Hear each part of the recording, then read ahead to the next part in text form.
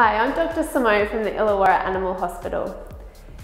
Ticks are prevalent in the Illawarra, so it's really important to use tick prevention all year round, particularly in the spring and summer months. We have a lot of ticks in this area. Um, ticks are found in, um, on native wildlife and also in bushy and scrubby areas.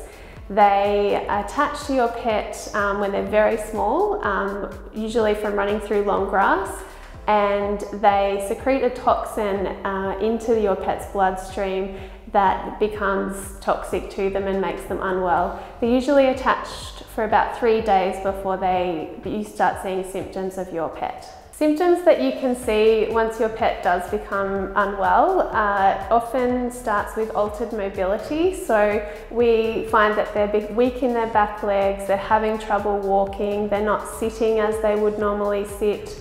Um, they can also have a change to their voice, so really common in cats, um, but also dogs. Their bark can sound different, their meow can be a different pitch to what it normally is. Um, we can find that they have laboured breathing.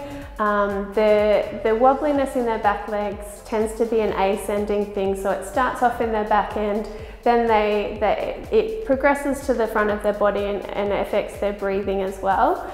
They can sometimes have difficulty eating, dropping their food, um, and um, they can cough or gag as well. So there's things that we commonly see with a patient that's prevented with tick paralysis. So every cat and dog needs tick prevention. Um, we currently recommend Bravecto for dogs or Simparica for dogs. Um, they come in a, either a chewable or a spot-on um, variety.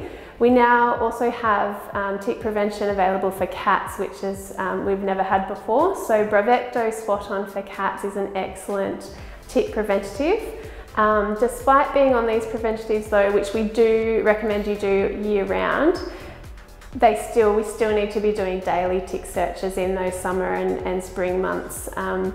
So daily tick searches as well as considering grooming your pet's coat if they do have long hair, which makes it easier to see a tick if it does happen to attach.